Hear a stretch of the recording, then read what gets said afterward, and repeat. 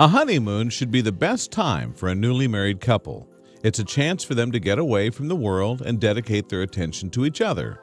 Romantic getaways to tropical islands are always the best choice to ensure that no one is interrupting their time together.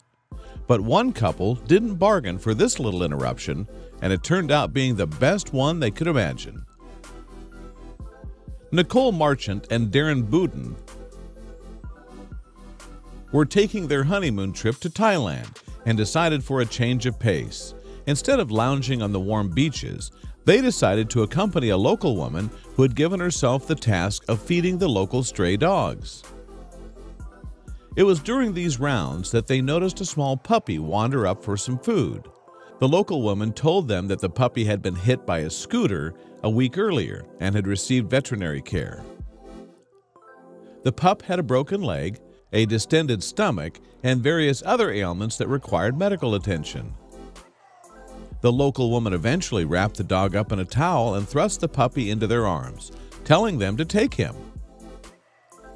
They named the puppy Ozzy and provided him with a bath, removed the ticks from his body, and even got him his first collar and toy. But they still had no way to get the puppy the right treatment. So they gave up on their honeymoon and took a six hour drive to find a surgeon who would work on the poor pup. But the end of his surgery wasn't the end of the story.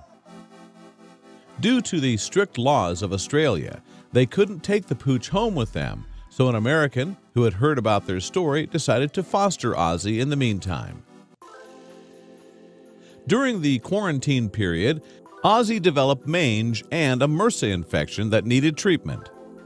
His problems seemed to compound from there on, as the metal rod that had been inserted into his leg started to twist and was threatening to have his leg amputated.